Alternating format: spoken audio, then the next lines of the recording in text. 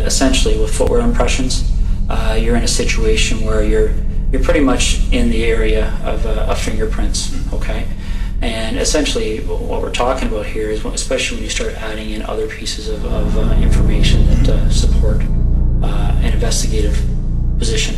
Yeah. Okay, the vehicle's been seized. Okay, you and I both know they're going to find evidence that links you to these situations.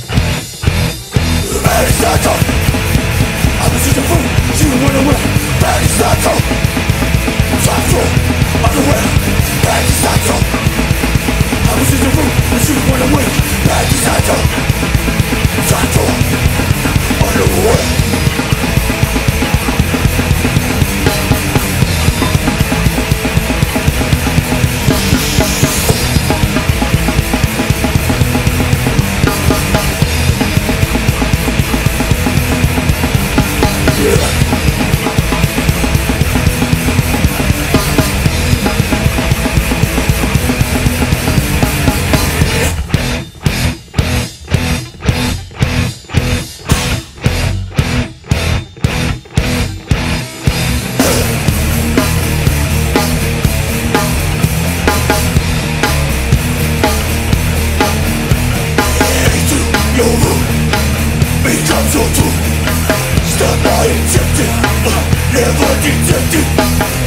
Love us, it won't save you